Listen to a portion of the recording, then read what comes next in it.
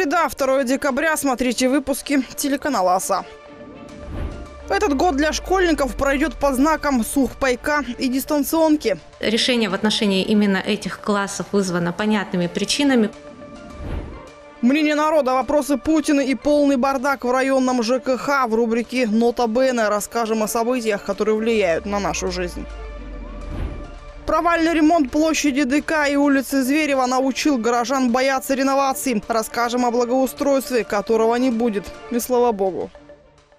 Со следующей недели на очное обучение в школы вернутся ученики 9 и 11 классов. Такое решение сегодня приняли в Управлении образования Ачинска. По словам заместителя начальника Галины Нефедовой, выпускные классы выходят с дистанционки пока на две недели. Решение в отношении именно этих классов вызвано понятными причинами, потому что это выпускные классы и требуется серьезная подготовка к итоговой аттестации. Поэтому эти классы выйдут в очный режим работы. В отношении других классов решение будет приниматься дополнительно с учетом складывающейся ситуации. Ученики пятых, шестых, седьмых, восьмых и десятых классов, по словам Галины Нефедовой, пока остаются на дистанте, а начальная школа продолжит учиться очно. Также в Управлении образования сообщили, что ученики-льготники пятых-одиннадцатых классов получат сухпайки за период с 9 ноября по 6 декабря. С 5 по 11 это льготные категории. К ним относятся а, малообеспеченные а, категории граждан и а, дети с особенностями здоровья. Различием будет в данной ситуации то, что определена не общая стоимость продуктового набора, а стоимость одного дня. Таким образом, общая стоимость продуктового набора будет различной для разных территорий и возможно, для разных школ. Как говорит Галина Нефедова, это связано и с разным количеством учебных дней, и с разной датой выхода школьников с каникул. Какие продукты будут в льготном наборе, пока неизвестно, но выдавать их, по словам Нефедовой, планируется в школах города. Юлия Савина, Вильдан Калимулин, Новости ОСА.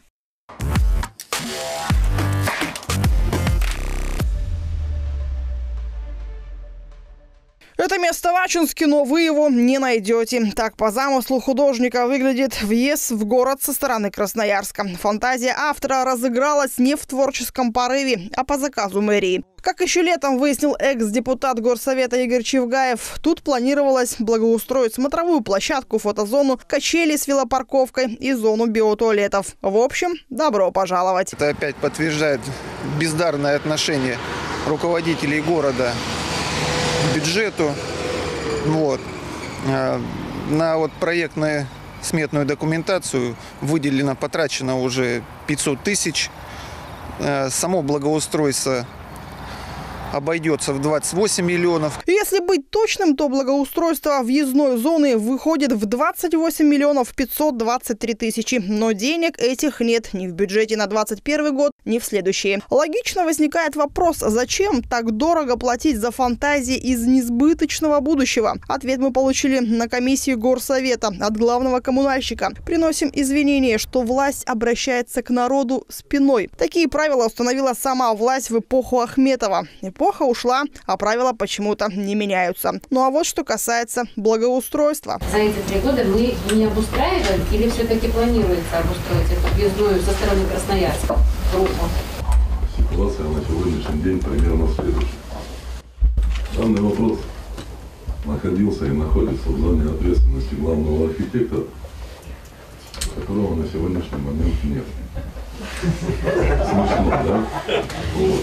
По выделению средств на а, благоустройство данной территории непосредственно а, в 21, 22, 23 годах средства нами не закладывались. Вот.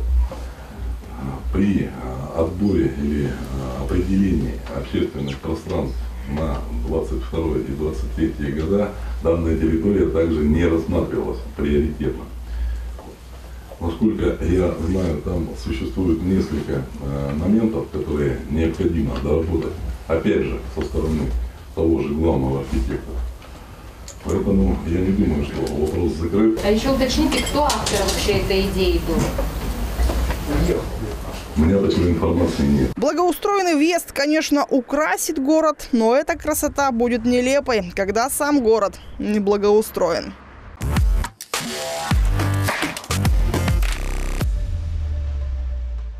Вопросы Путину, мнение народа обязательно. И район без угля. В Нотабена собрали важные новости, которые влияют на нашу с вами жизнь.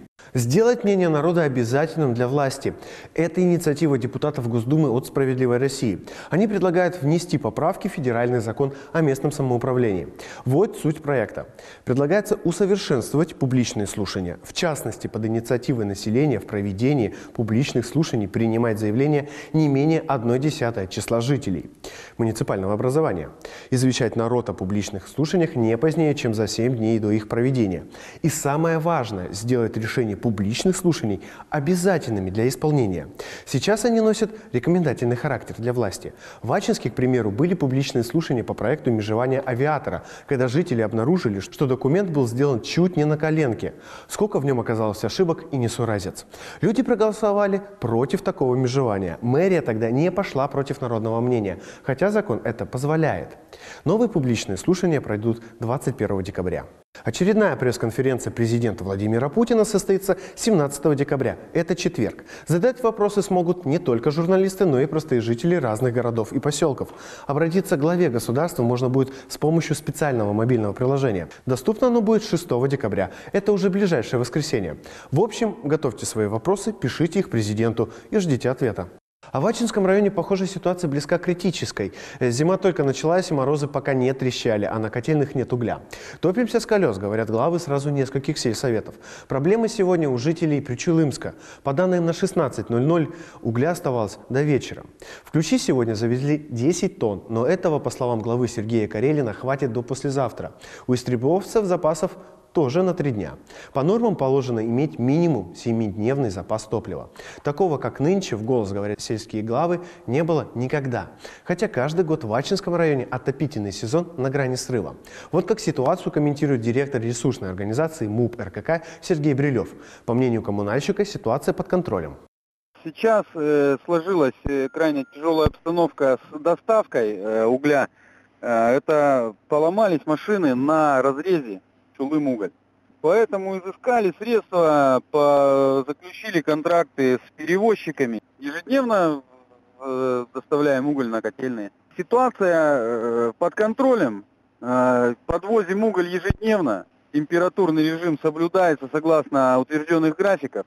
Э, жалоб от населения по теплоснабжению не поступало.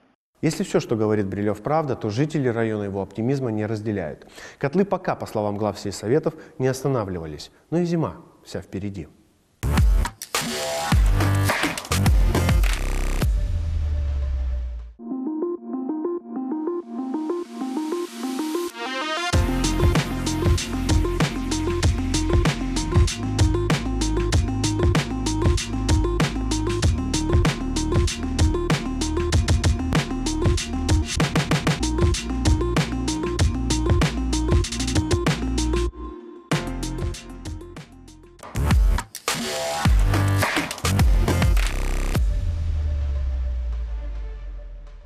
Частная наркологическая клиника номер один в городе Ачинске. Лечение зависимости под наблюдением квалифицированного персонала. Вывод из запоя. Вызов нарколога на дом. Кодирование. Реабилитация. Анонимность гарантируется. Подробности по телефону 8 391 215 2033. Ветеринарная аптека 36, расположенная на территории фармацевтического центра губернские аптеки. Райское место для питомцев и заводчиков. Корма, витамины, игрушки, переноски, лежанки, лотки, наполнители, амуниция, одежда для кошек и собак. Консультирует ветеринарный фельдшер. Улица Кравченко, 7А. Это Ольга. У нее варикоз. Но она боится операций, разрезов, наркоза и эти шрамы на ногах. А это Даша. Она удалила варикоз лазером в клинике «Варикоза нет». Ждем вас в декабре. Таких цен больше не будет. Компания Синт представляет новые тарифы, новые возможности. Твой выгодный интернет со скоростью до 200 мегабит в секунду. Выбери свой тариф. Все подробности узнавайте на сайте и в офисе оператора. В новой Причулымке еще больше подарков. Праздничные продуктовые наборы, посуда, постельное белье и многое другое. Подпишись на газету до 25 декабря и участвуй в розыгрыше призов. Подробности в газете «Новая Причулымка». С наступающим Новым годом! Требуется в поселок Горный, Карловку и Березовый работать три раза в неделю. Зарплата в месяц 7 500. Телефон для связи 9 42 42 или 8 923 292 91 82.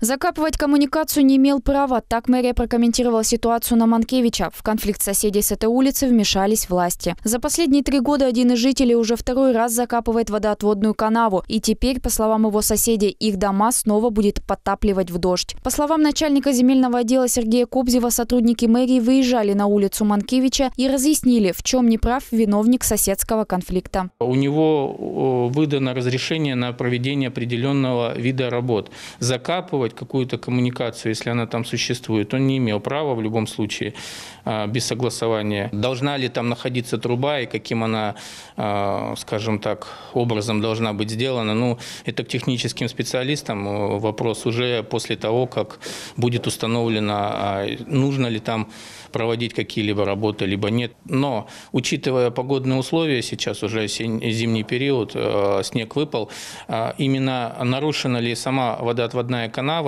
и э, установить не представляется возможным до наступления а, весеннего периода, как таяние снега. Сергей Кобзев отметил, что ситуация на Манкевиче теперь взята под особый контроль, и весной сотрудники мэрии выйдут на место с проверкой. Если дома на улице Манкевича не будет топить, говорит Сергей Кобзев, водоотводная канава на этом месте не нужна. Также, со слов начальника земельного отдела, жители могут установить канаву за свой счет.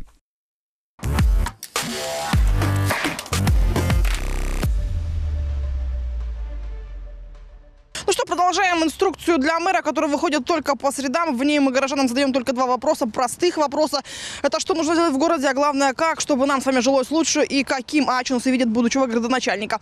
Нам важно ваше мнение, так что не забывайте оставлять свои комментарии у нас под постом в группе ВКонтакте. Ну а сегодня очередная порция ответов от наших земляков.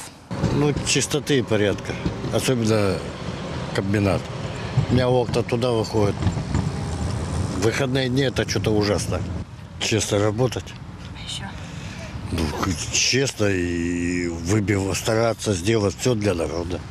Каким вы видите будущего мэра? Какой он должен быть?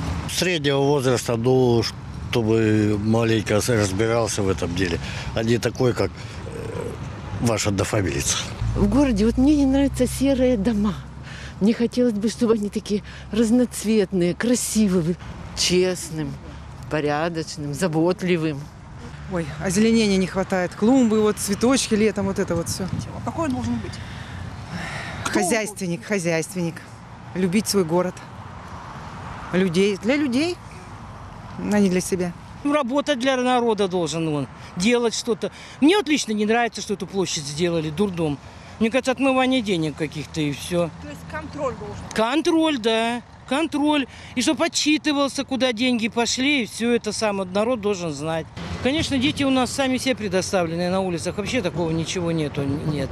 Раньше были как-то клубы какие-то, фотографии, там то-то, то-то, дети были заняты, ходили, а сейчас если те, кто хотят пойти, везде все платное. Кого-то не хватает средств. То есть для детишек? Конечно, конечно, для детей.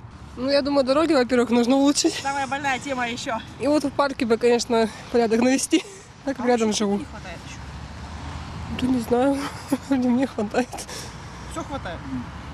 Ну, в принципе, не жалуюсь. Ну, я думаю, должен интересоваться жизнью города, во-первых. Ну, благоустройством, так сказать. Ну и чтобы жилось, как говорится, хорошо в городе. Чтобы хотелось в нем жить. Так. Чтобы делал все для да. Да. В Ачинске я считаю, что нужно обратить на людей бездомных. И очень хотелось бы, чтобы был построен какой-то центр, где их бы кормили, мыли, э, медицинские работники за ними следили. Потому что я считаю, что мы сами плодим таких людей, от которых потом сторонимся, да, но ведь они же люди. Коли есть для животных у нас приюты, да, ну вот меня, например, это очень коробит, и мне обидно за нас, что мы не обращаем внимания на таких людей. А еще я по поводу вот э, этого парка, как бы летом, ну, сами знаете, не очень приятно а, заходить, когда, ну ладно, мы все говорили, заросло травой. Я думаю, что проблема эта решается не так тяжело. Почему бы не поговорить с руководителями школ? Ну, каждому классу дайте поручение. Мы вырастим на подоконниках цветы. С удовольствием дети пойдут и посадят на тех клумбочках. Да, нам нужно завести землю, но будут цветы. Мы можем переходить их полоть, верно? И дети будут чувствовать себя хозяевами главами города, прошелся по городу и заставил своих же помощников пройтись по своим участкам и сделать доклад в этот же день и услышать, что, где какие проблемы и как ты их решаешь. Ну, отмечу, что этот опрос мы будем делать вплоть до выборов нового мэра. И все пожелания, предложения обязательно передадим новому градоначальнику. Анна Ахметова, Ильдан Калимулин, телеканал ОСА. Вот таких, как вы, не хватает. Я смотрю вашу передачу, вы мне нравитесь. Молодцы, вот молодцы.